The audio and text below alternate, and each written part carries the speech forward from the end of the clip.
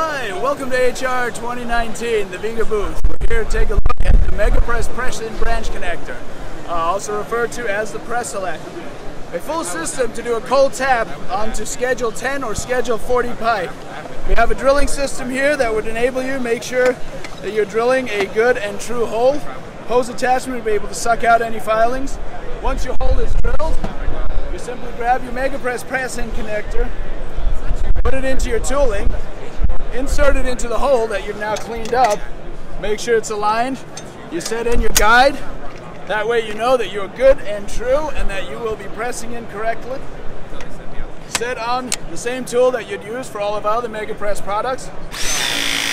Hit the trigger, out you come, and now you have a permanently fixed connection ready to add in a branch, instrumentation, or any other object that you'd like to insert into a pipe.